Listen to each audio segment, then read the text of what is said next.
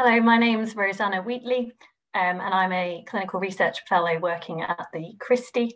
So the work I'm going to present today is work that I've done as part of my MD degree, um, and I've set up a study called the Embracer Study. And this is a single centre observational study um, of the oral and gut microbiome in patients with biliary tract cancer, including patients with cholangiocarcinoma. So I'll start by just introducing the term microbiome. So this term essentially refers to microorganisms, so including um, things like bacteria and fungi, and it refers to their genetic material as well as the particular environment that they're in. So an example of this would be the oral cavity um, or the gut. And studies to date in other cancer types have demonstrated that the microbiome um, may have a role in cancer development and progression, whilst other exploratory studies have reported associations between the microbiome and patient response to cancer treatment, including immunotherapy, which is emerging as a potential new treatment option for patients with biliary tract cancer, including cholangiocarcinoma. So this is a rapidly um, emerging field of research and offers study of the microbiome as a potential tool for diagnosis, for prognostication, or even as a potential therapeutic target. And an example of this would be the use of fecal microbiota transplantation, which is currently being explored in phase one clinical trials. So most studies reporting on the microbiome um, refer to the microbiome diversity and also to the microbiome composition. And when looking at the diversity, this can be broken down into alpha diversity and beta diversity.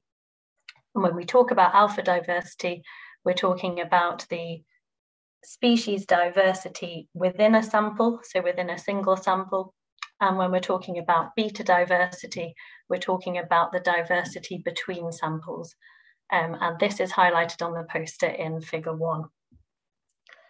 So going back to Embracer study, as mentioned before, this is a prospective single center observational study of the oral and gut microbiome in patients with biliary tract cancer who are receiving standard of care chemotherapy in the adjuvant and also in the first line advanced setting.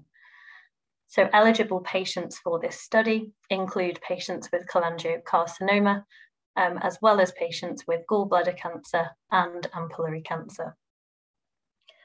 The sample collection for this study will be in the form of saliva and stool sample collection. And for patients receiving chemotherapy in the first line advanced setting, they will have a sample collected at baseline and again at 12 weeks. And for patients receiving chemotherapy in the adjuvant setting, they have a sample collected at baseline and then again at six months. So our primary endpoint for this study is collecting data on the sample diversity and going back to alpha and beta diversity, as well as looking at sample composition. And the way that we report sample composition is through something called operational taxonomic unit clustering. Our secondary endpoints include correlation of these microbiome variables, so sample diversity and composition, with medication use, um, including antibiotics, proton pump inhibitors, metformin, and laxatives. And we're going to be correlating those microbiome variables and medication use with tumour response.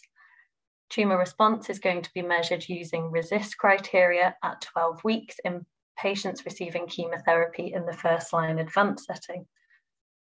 We're also going to be correlating these microbiome variables and medication use with progression-free survival and overall survival. For Embracer study, our recruitment target is 74 patients in the first line advanced setting. And we are also hoping to recruit an exploratory cohort of up to 26 patients in the adjuvant setting. Um, Embracer study opened this year in February 2022, and recruitment is currently in progress. So I just want to thank you for listening and also thank AMMF for giving me the opportunity to present this study. My contact information is on the poster and I would welcome any questions if you would like to get in touch. Thank you.